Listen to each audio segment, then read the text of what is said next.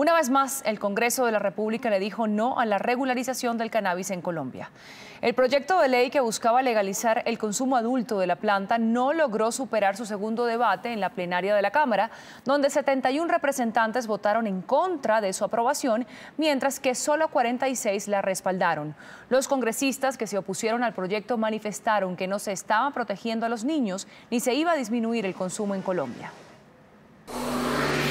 Colombia, para poder tener una política de salud pública, tiene que reglamentar el uso adulto y el consumo de uso adulto del cannabis recreativo para así dejar de alimentar al narcotráfico. Y les recuerdo que el ICBF y el Estado colombiano no ha logrado detener el consumo de tabaco y de alcohol en menores de edad en este país.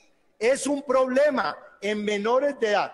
O sea que nosotros aquí no estamos legalizando el cannabis para uso recreativo en adulto estamos impactando a nuestros jóvenes.